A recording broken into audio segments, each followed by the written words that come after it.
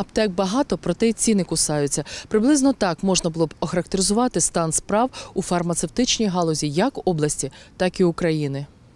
Відвідувачі аптек порівнюють ціни у нас і за кордоном. кажуть, різниця разюча.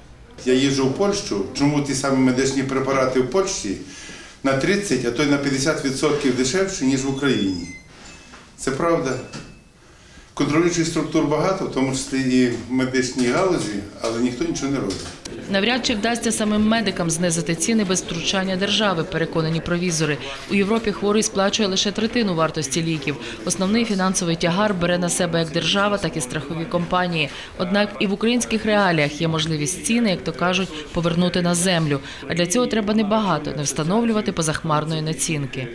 Ця націнка регулюється на деякі препарати життєво необхідні державою, на які можна робити націнку не більше 25%.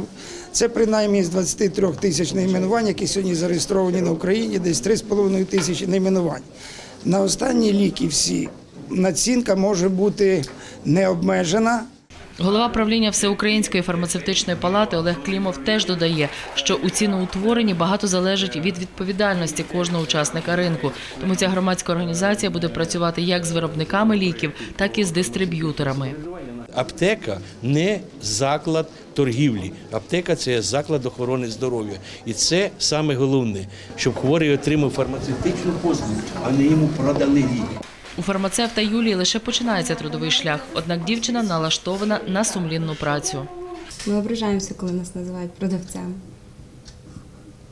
Ми відпускаємо ліки, а не продаємо. Цю тенденцію переслідують і у фармапалаті. Кажуть, робота з рецептом в аптеці повинна бути не формальною, а добросовісною і зі знанням справи. Не буде в аптеках людей, які носять білий халат та не мають фармацевтичної освіти. Об'єднавши ці чинники, вітчизняні аптеки набуватимуть нової якості. Тоді пану Дмитру не доведеться з довжелезним списком ліків для колег їздити за кордон. Алла Сищук, Сергій Савта. Інформаційна програма День.